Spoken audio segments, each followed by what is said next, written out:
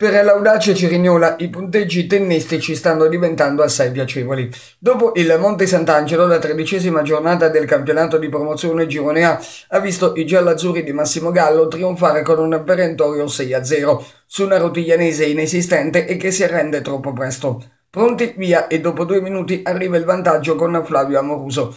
Il raddoppio arriva sul primo dei calci di rigore, ne saranno due assegnati dall'arbitro, porta la firma di Flavio Morra. Gli ospiti provano a reagire, ma l'audace è un turbo e a pochi minuti dalla fine del primo tempo arriva la terza rete ancora con Amoruso ed il poker in recupero di prima equazione con Crieco.